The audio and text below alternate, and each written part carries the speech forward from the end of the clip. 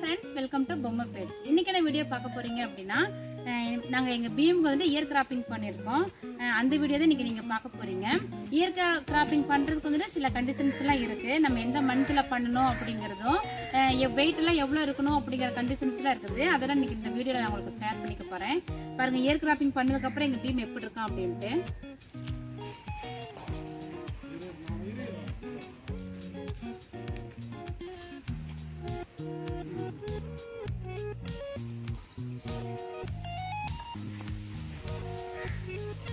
இவனுக்கு நாங்க ear cropping பண்றதுக்காக ஈரோடு போயிருந்தோம். டெல்லியில இருந்து ஸ்பெஷலிஸ்ட் வந்திருந்தாரு. அந்த வீடியோலாம் வந்துட்டு நான் இந்த வீடியோவோட ஆட் பண்றேன். நாங்க எப்படி போயிட்டு வந்தோம் அப்படின்ட்டு. அப்புறம் எத்தனை நாள் கழிச்சு நாங்க அந்த ஸ்டிச்சஸ் எல்லாம் பிரிச்சோம் அப்படிங்கறத நான் உங்களுக்கு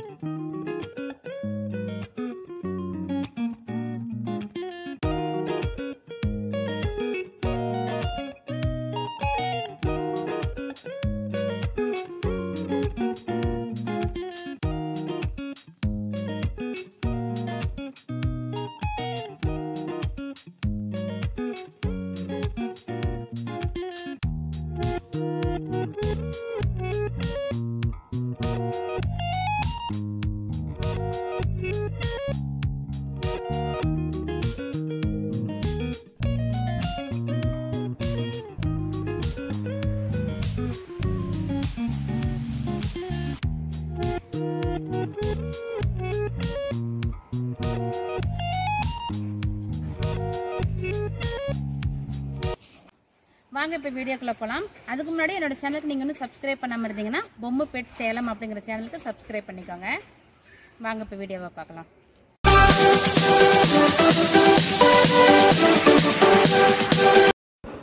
இது வந்துட்டு நாங்கள் கிளம்புறதுக்கு முன்னாடி எடுத்த வீடியோங்க. கிராப்பிங் பண்ணுறதுக்கு முன்னாடி ஒரு வீடியோ எடுத்து வைக்கலாம் அப்படின்னு சொல்லிட்டு எடுத்த வீடியோ.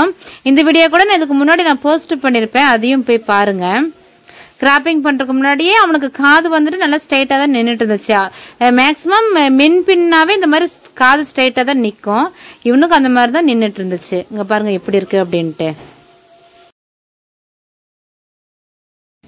நாங்க இப்ப ஈரோடு கிளம்பிட்டோம்.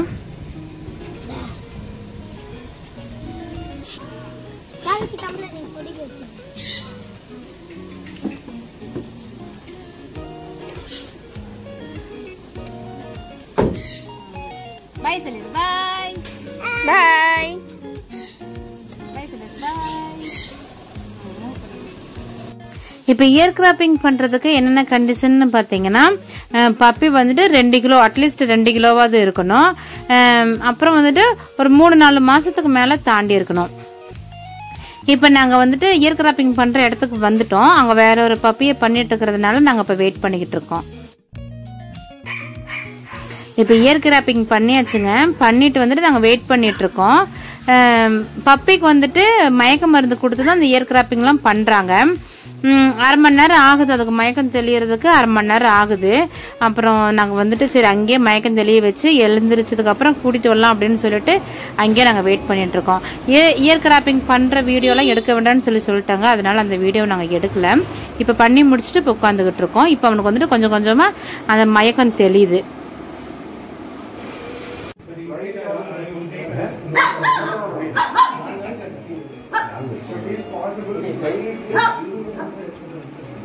இப்ப மயக்கம் தெளிஞ்சு எந்திரிச்சதுமே பாருங்க எப்படி கத்துறான் அப்படின்ட்டு மத்தவங்கள பார்த்துட்டு இப்பவே உழைச்சுக்கிட்டு இருக்கான். இப்ப வந்துட்டு ஆல்ரெடி இப்ப ரெடி ஆயிட்டான் நாங்கள் நாங்க இப்ப திரும்ப வீட்டுக்கு கிளம்பிட்டோம். இப்ப வீட்டுக்கு வந்ததுமே எங்க பசங்கெல்லாம் அழுவாங்கன்ட்டு நான் எதிர்பார்த்தேன். ஏன்னா என் பையன் பீமுக்கு வந்துட்டு காதை வெட்டக்கூடாது அப்படின்னு சொல்லிட்டு ஒரே ராவடி. அவனுக்கு நாங்க ஊசி போட்டுட்டு வரண்டா அப்படின்னு சொல்லிட்டு தான் நாங்க கிளம்பி போனோம். வந்ததும் சரி அழுவாங்கன்னு சொல்லிட்டு எதிர்பார்த்தேன். அவனோட தலையில பேண்டேடு போட்டிருக்கிறத பார்த்துட்டு சிரிச்சுக்கிட்டு தான் நின்றுட்டு இருந்தாங்க. பாருங்க நீங்களே. எங்கள் பீமுமே வந்ததுமே இறக்கி விட்டதுமே ம, உ- சேலம் வர்றதுக்குள்ளேயே நல்ல நல்லாவே பழையபடி நல்லாவே தெளிவாயிட்டான். பாருங்க வந்ததுமே எப்படி ஓடுவான் அப்படின்ட்டு. இப்போ கிராம்பிங் பண்ண போகிறோம் அப்படின்னா இப்போ காலையில் பண்ணுறோம் அப்படின்னா அதுக்கு முதல் நாள் நைட்டு வந்துட்டு நம்ம நேரமாகவே ஃபுட்டு கொடுத்துடணும் ஏன்னா அது வந்துட்டு சீக்கிரமாக ஜீரணம் ஆகணும் காலையில் எம்டி ஸ்டொமக்கோட தான் நம்ம கொண்டு போகணும். ஏன்னா மயக்க மருந்து கொடுக்கும்போது அது வாமிட் பண்ணிடும் அப்படின்னு சொல்லி சொல்கிறாங்க அப்புறமா ம, எல்லா வேலையும் முடிச்சுட்டு மயக்கம் தெளிஞ்சதுக்கப்புறம் நம்ம எப்பயும் கொடுக்குற மாதிரி நார்மல் ஃபுட்டே நம்ம கொடுத்துக்கலாம்.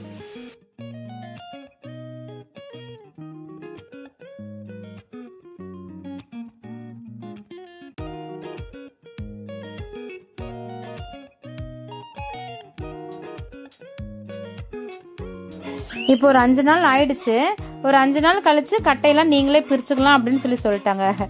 கட்டை பிரிக்கலான்ட்டு வரும்போது பாருங்க எங்க பீமு பாவம் அவன் வந்துட்டு அந்த கத்திரிக்கோலையெல்லாம் தட்டி விடுறான். அவன் என்னமோ பண்றாங்கன்னு சொல்லிட்டு பயந்துக்கிட்டான் பாவம். இப்போ கட்டை பிரிச்சிடலான்ட்டு அவங்களே சொல்லிட்டாங்க. அதனால நாங்களே இப்போ கட்டை பிரிக்கிறோம். அது எப்படி பண்ணணுங்கன்னா கழுத்துக்கு கீழே வந்துட்டு கத்திரிக்கோலில் அப்படியே ஒரு ஒரு கட் பண்ணி விட்ருங்க கட் பண்ணி விட்டு மேலே தூக்குனா அது அப்படியே அழகாக வந்துடும் சொல்லி சொன்னாங்க.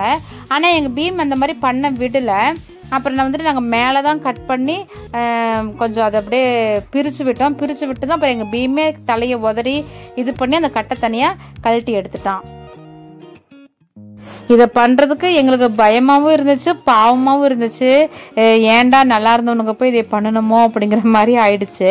இருந்தாலும் இயர் கிராப்பிங் பண்ணதுக்கப்புறம் கொஞ்சம் கெத்தாகவே இருக்கான். ஆனால் அந்த சமயத்தில் வந்துட்டு எங்களுக்கு பாவமாக இருந்துச்சு அவனை பார்க்கும்போது.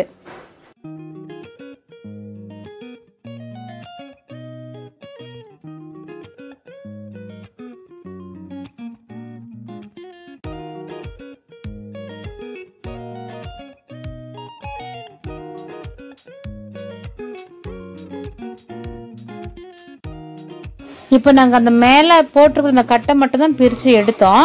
அதுக்கப்புறமா காதில் வந்துட்டு வரிசையாக தையல் போட்டிருக்கிறாங்க. அந்த கட் பண்ண வரிசையாக தையல் போட்டிருக்காங்க. அந்த தையலை வந்துட்டு நாங்கள் ஹாஸ்பிட்டல் கொண்டு போய் தான் பிரித்தோம் அந்த தையலை பிரிக்கும் போது டாக்டர் வந்துட்டு வீடியோலாம் எடுக்காதீங்க அப்படின்னு சொல்லி சொல்லிட்டாங்க. அப்புறம் வந்துட்டு அதனால் அந்த வீடியோ நாங்கள் எடுக்கல. இப்போ வந்துட்டு புண் எல்லாமே ஆறிடுச்சு.